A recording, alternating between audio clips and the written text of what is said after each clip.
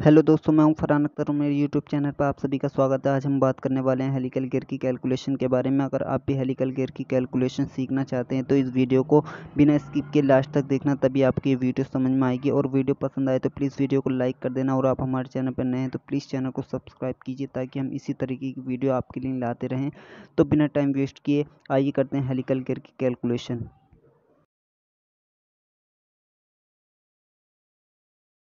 तो आज का हमारे में helical gear cutting on milling machine तो सबसे पहले हमें कुछ चीज़ें कुछ चीज़ें माननी पड़ती हैं, ये दे रखी होती हैं, जैसे कि दांतों की संख्या मॉड्यूल और एंगल हम दांतों की संख्या मान लेते हैं, जैसे हमें चालीस दे रखी है तो हम लिख लेते हैं यहाँ पर दांतों की संख्या।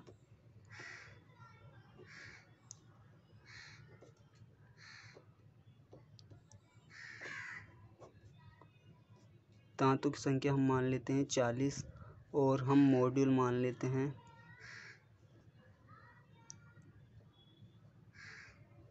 मॉड्यूल बराबर दो मान लेते हैं और हम हेलिक्स एंगल जो है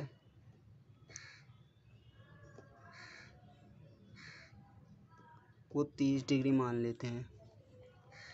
तो दोस्तों हमें ये कुछ चीज़ें दे रखी होती हैं या हमें ये माननी पड़ती हैं। जैसे कि दांतों की संख्या मॉड्यूल हो गया हमारा हेलिक्स एंगल हो गया। तो इन इन्हीं इन्हीं इन चीज़ों की मदद से ही हम बा, बाकी के बाकी बाकी के डायमेंशन निकालते हैं। जैसे हम अडेंडम डिडेंडम हो गया हमारा पिच डायमीटर हो गया आउटसाइड डायमीटर हो गया वॉल डेप्थ हो गई कट कटर नंबर हो गया सब हम इसी की मदद से निकालेंगे। तो देखिए किस तरीके से निकालते हैं हम। सबसे पहले हम हम अडेंडम जानते हैं इसका इसका अडेंडम कितना है। तो जो हमारा मॉड्यूल होता है, वही हमारा अडेंडम होता है। तो इसका हमारा अडेंडम हो गया दो।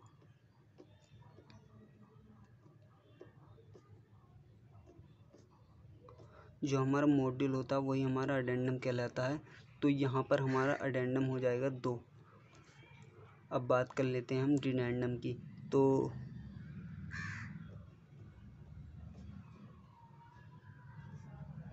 तो डिडेंडम बराबर हमारा डिडेंडम निकालने का हमारा फॉर्मूला होता है one point one five seven into module तो ये हमारा डिडेंडम निकालने का फॉर्मूला होता है। अब हम इसमें मॉड्यूल के वैल्यू रख देंगे। One point one five seven into two one point one five seven into two की हम इसकी गुणा दो से करेंगे तो हमारा यहाँ पर आएगा two point three one four. तो ये हमारा डिटेंडम आ चुका है। अब बात कर लेते हैं हम पिच डायमीटर के बारे में। तो पिच डायमीटर देखते हैं हमारा कितना है।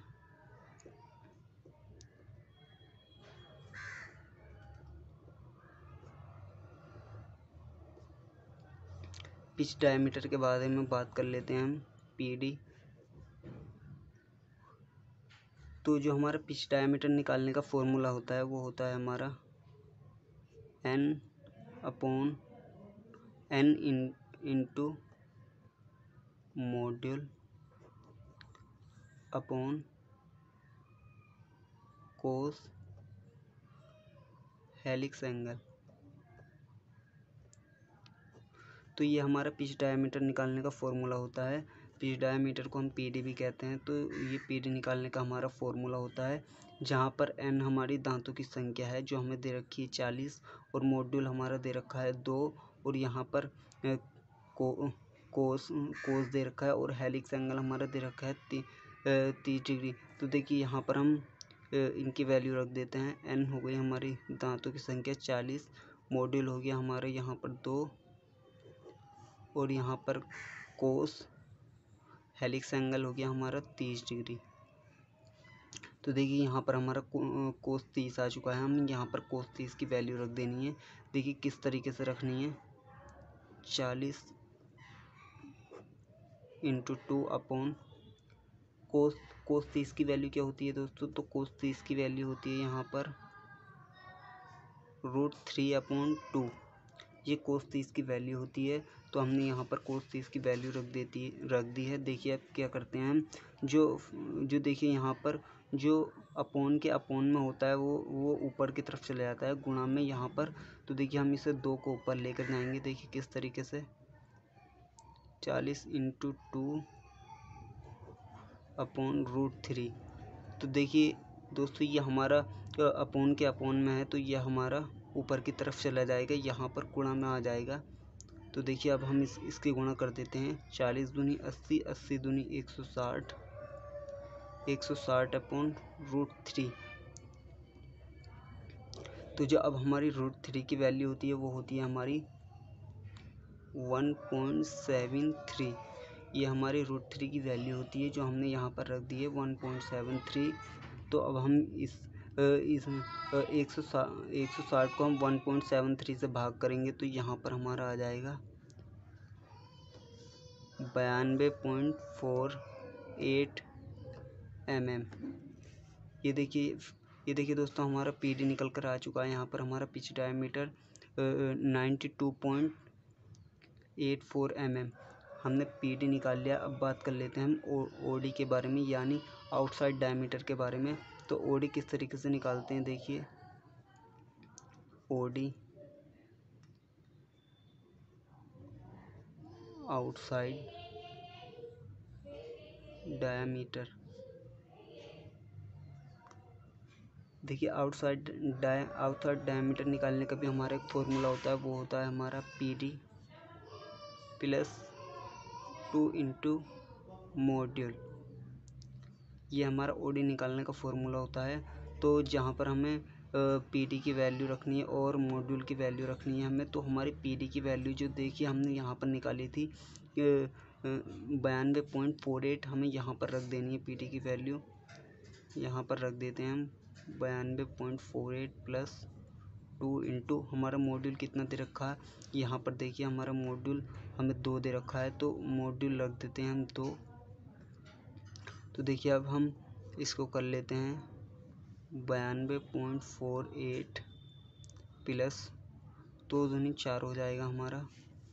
और यहाँ पर हम इसमें बयानवे पॉइंट फोर एट में फोर जोड़ देंगे तो यहाँ पर आ जाएगा हमारा छियानवे point four eight M M तो ये हमारा आउटसाइड डायमीटर आ चुका है छियानवे point four eight M M अब हम बात कर लेते हैं होल डेप्थ के बारे में। तो अब हम इसकी होल डेप्थ निकालेंगे।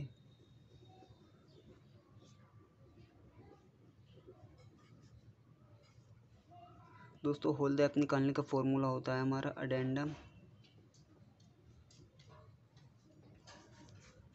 प्लस डिडेंडम ये हमारा होल डेप्थ निकालने का फॉर्मूला होता है। तो हमें अडेंडम कितना दे रखा है? यहाँ देखिए हमें अडेंडम दो दो दे रखा है। जो हमारा मॉड्यूल होता है, वही हमारा अडेंडम कहलाता है। तो यहाँ पर हमें अडेंडम कितना दे रखा है? देखिए दो। तो यहाँ पर हम दो अडेंडम लिख देते हैं। और यहाँ पर देखिए डिडेंडम डिडेंडम हमने यहाँ ऊपर निकाला था। कितना कितना आया था हमारा? देखिए two point three one four हमारा अडेंडम आया था। तो यहाँ लिख लेते हैं हम। Two point three one four तो ये हमारा अडेंडम आ चुका है। तो अब हम हम दो को इस, इसमें जोड़ देंगे तो देखिए हमारा कितना आ जाएगा। Four point three one four M M. ये देखिए हमारी होल डेप्थ आ चुकी है। अब अब बात कर लेते हैं हम। अब बात कर लेते हैं हम इसकी अब हम इंडेक्सिंग मूवमेंट की बात कर लेते हैं कि हमारी इंडेक्सिंग मूवमेंट कितनी है यहाँ पर। तो देखिए इंडेक्सिंग मूवमेंट की बात कर लेते हैं।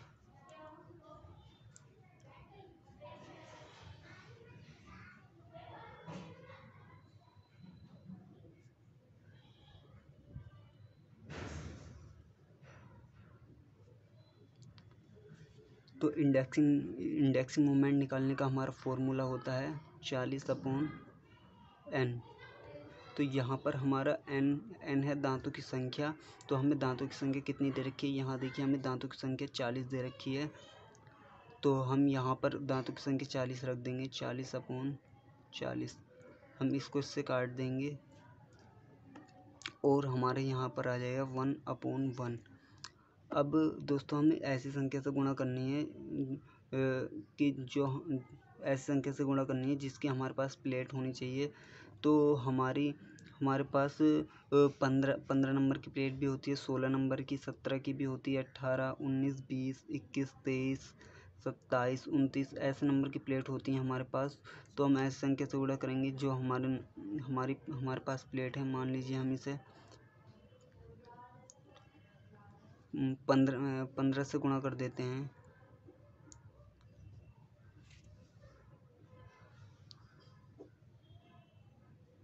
तो ये देखिए ये देखिए कुछ इस तरीके से हमारी पंद्रह नंबर की प्लेट आ, पंद्रह नंबर की प्लेट आ चुकी है और पन, पंद्रह होल हमारे सर्किल में आ चुके हैं। यानी हमें प्लंजर पिन को पूरे पूरे जिस होल में से, जिस होल में से निकालेंगे, हम उसी होल में जाकर वापस सेट करना पड़ेगा। तो ये देखिए हमारी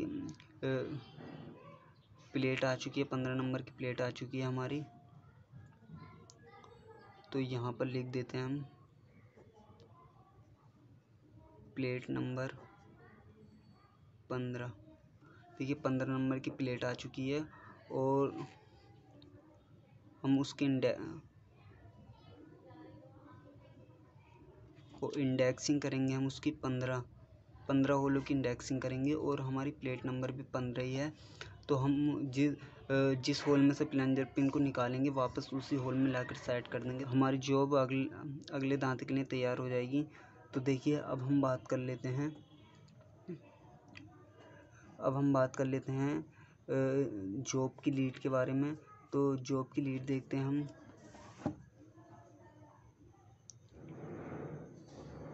जॉब की लीड।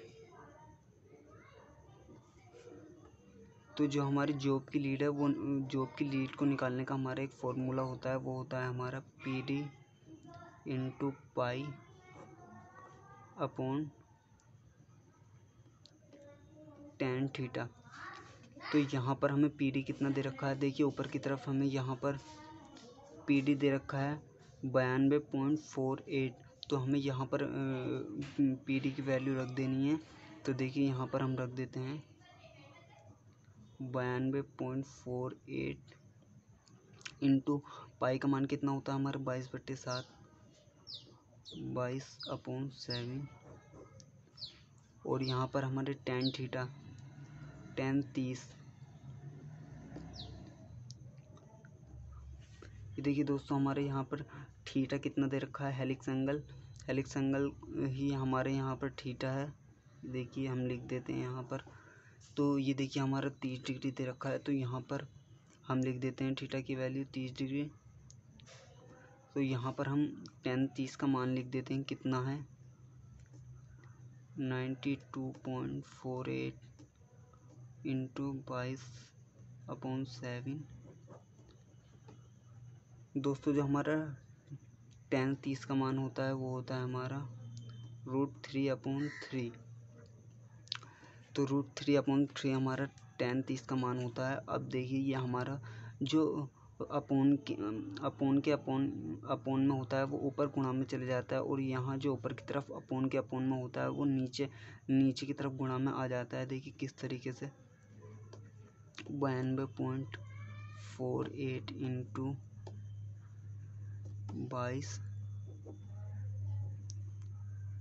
Root three. तो देखिए ये अपोन के अपोन में है तो ये ऊपर की तरफ़ गुणा में चला जाएगा, वो ये यहाँ पर आ जाएगा हमारा तीन, ये वाला तीन ऊपर की तरफ़ गुणा में चला जाएगा और ये जो हमारा ऊपर की तरफ़ बाईस बाईस अपोन सात, ये ऊपर की तरफ़ अपोन में है तो ये नीचे की तरफ़ आ जाएगा गुणा में रूट थ्री इंटू सेवन ये देखिए कुछ इस तरीके से हमारा आ चुका है। कुछ इस तरीके से हमारा आ चुका है। देखिए अब हम इसकी गुणा कर लेते हैं, सब, इन सब की गुणा कर लेते हैं।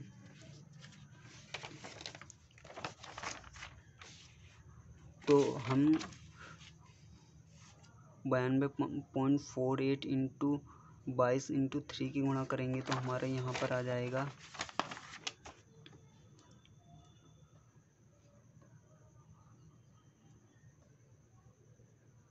छः हज़ार एक सौ तीन पॉइंट सिक्स एट।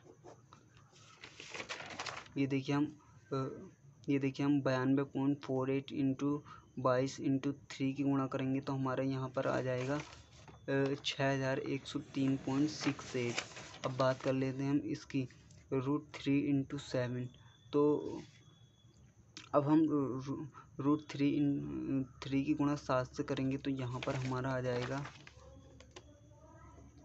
बारह पॉइंट ग्यारह। तो ये कुछ इस तरीके से हमारा आ जाएगा। अब हम छः हज़ार एक सौ तीन पॉइंट छः आठ को हम बारह पॉइंट वन वन से भाग कर देंगे तो यहाँ पर हमारा आ जाएगा पाँच सौ चार point zero one M M तो ये हमारी जॉब की लीड आ चुकी है। अब हम बा, अब हम बात कर लेंगे मशीन मशीन लीड के बारे में। तो मशीन लीड के बारे में जानने से पहले हम एक बात तो एक बात नोट करेंगे यहाँ पर, जो हमारी जो हमारी H M T milling machine होती हैं फ्रेंड जो हमारी एच एम टी मिलिंग मशीनों की लीड लीड स्क्रू की पिच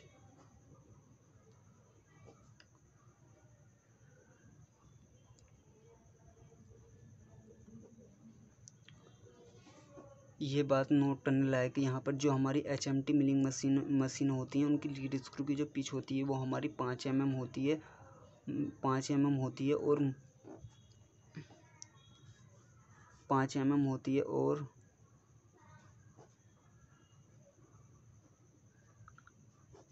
और हेलिकल गियर काटते समय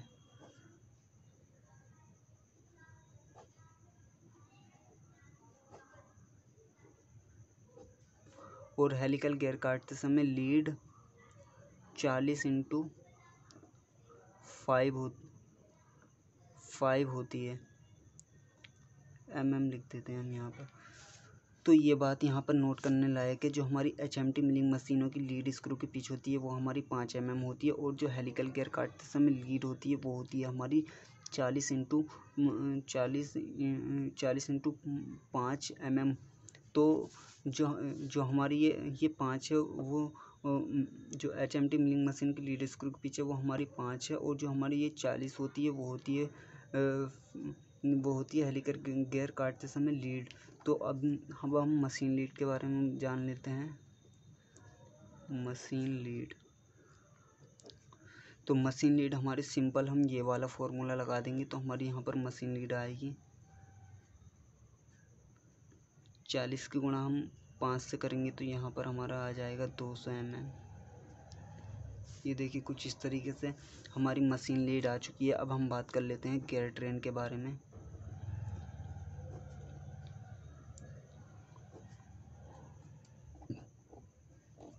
तो गेयर ट्रेन का जो फॉर्मूला होता है वो होता है हमारा मशीन लीड।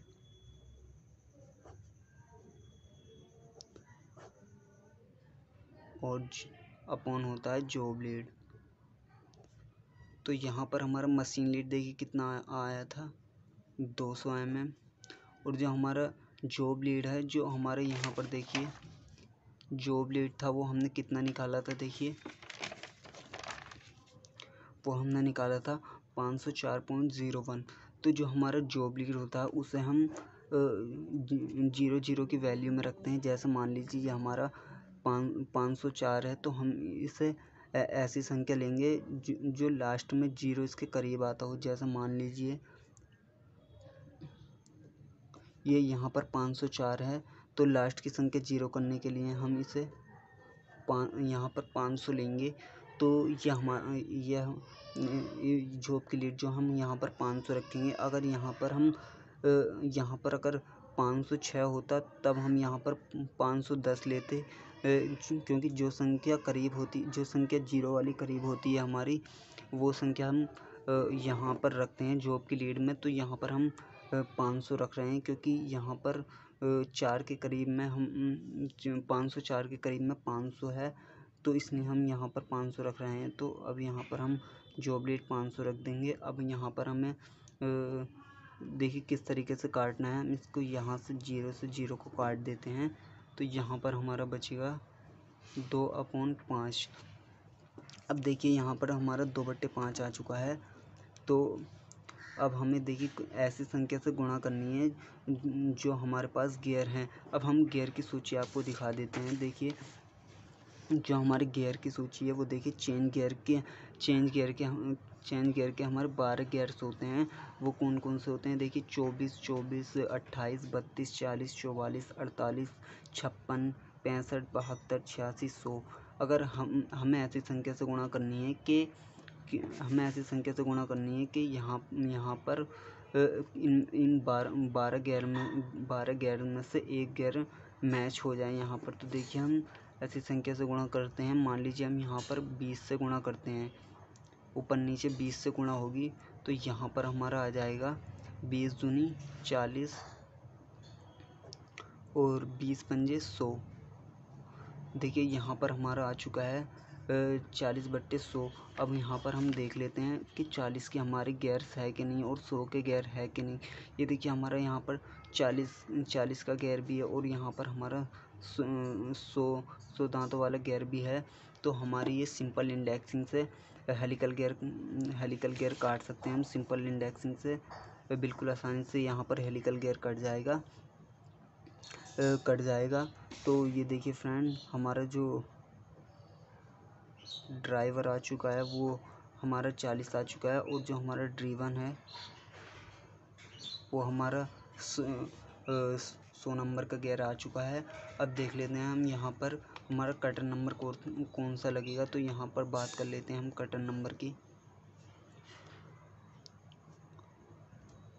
तो कटर नंबर देखने के लिए हम सबसे पहले दांतों की संख्या देखनी पड़ती है। तो यहाँ पर हम दांतों की संख्या देख लेते हैं कितनी है। यहाँ पर देखिए हमारी दांतों की संख्या चालीस दे रखी है। तो हम इसके लिए एक एक ये यहाँ पर एक ये देखेंगे सांडली टाइप की। यहाँ पर देखते हैं हम ये हमारी दांतों की संख्या होती है, जैसे जितने हमारे दांत हैं हम यहाँ पर देखते हैं, और इधर हमारा कटर नंबर लिखा है, हमारे जितने दांत हैं, उसके सामने वाले नंबर हमारा कटर नंबर कहलाता है। तो देखिए हमारे दांत देखते हैं कितने हमारे दांतों की संख्या है चालीस। तो यहाँ पर देख लेते हैं, हमारे दांतों की संख्या चालीस कहाँ है। ये देखिए हम पैंतीस से लेके छब्बीस छब्बीस तक के दांतों वाले गैर्स होंगे तो उस पर कटर नंबर यहाँ पर तीन लगेगा। तो हमारा कटर नंबर यहाँ पर तीन आ चुका है तो इसी तरीके से हम कटर नंबर का कटर नंबर का चयन करते हैं। अगर हमारी मान लीजिए मान लीजिए तीस नंबर, तीस तीस दांतें काटने हैं तो यहाँ पर देखेंगे, देखिए छब्बीस से लेकर चौंतीस तक के अगर हमारे दांत दांतों वाले गियर्स होगा तो उसमें चार नंबर का कटर लगेगा। लेकिन हमारे हमारे चालीस चालीस नम चालीस दांत हैं तो यहाँ देखना पड़ेगा हमें पैंतीस से लेके चौवन के बीच में हमारा चालीस आता है तो यहाँ पर देखिए तीस तीन नंबर का कटर लगेगा तो यहाँ पर देखिए हमारा कटर नंबर तीन आ चुका है। तो ये देखिए हमने बिल्कुल बिल्कुल सिंपल इंडेक्सिंग से, आपको हेलिकल केयर की की कैलकुलेशन करना सिखाया है बिल्कुल आसान तरीके से आप भी बड़ी आसानी से सिंपल गियर ट्रेन से हेलिकल गियर की कैलकुलेशन कर सकते हैं। और अगर आप यहाँ पर ये दांतों की संख्या बदलना चाहते हैं तो आप बदल भी सकते हैं। यहाँ पर आप दांतों की संख्या संख्या छत्तीस भी रख सकते हैं। आप अड़तालीस भी रख सकते हैं। और इन, अगर अगर आप इन, यहाँ पर की संख्या इतनी भी रखते हैं तो आपकी सिंपल इंडेक्सिंग से हेलिकल गियर की गणना हो जाएगी और आप बड़ी आसानी से हेलिकल गियर काट सकते हैं। तो आप भी इसे एक दो बार ट्राई करेंगे तो बड़ी आसानी से हेलिकल गियर की की कैलकुलेशन करना सीख जाएँगे। अगर आपको ये वीडियो पसंद आई हो तो प्लीज़ वीडियो को लाइक ज़रूर कर देना और आप हमारे चैनल पर नए हैं तो प्लीज़ चैनल को सब्सक्राइब कीजिए। हम इसी तरीके की वीडियो आपके लिए लाते रहते हैं। ये देखिए दोस्तों, ये हमारी यूनिवर्सल मीनिंग मशीन है। इस पर हमने गियर ट्रेन लगा रखी है, जैसे कि आप देख सकते हैं।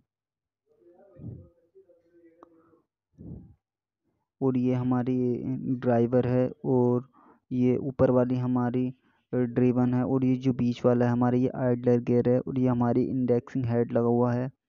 और यहाँ पर हमारी जॉब बंधी हुई है और ये हमने टेलीस्टोक टेलीस्टोक लगा रखा है। और जैसे कि ये टेबल आपको दिखाई दे रही है, एंगल में घूमी हुई है। हम अभी आपको एंगल दिखाते हैं, इसका कितना है।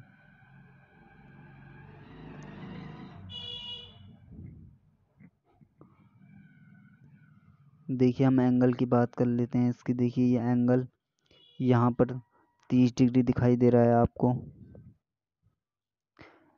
तो ये टेबल हमारी तीस डिग्री पर घूमा हुई है। जैसे कि आपको दिखाई दे रहा है।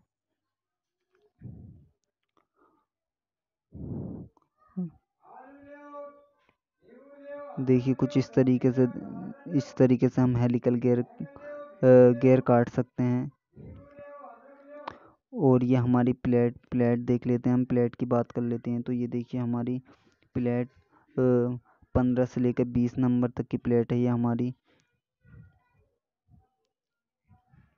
ये पंद्रह से लेके बीस नंबर की प्लेट लगी हुई है हमारी।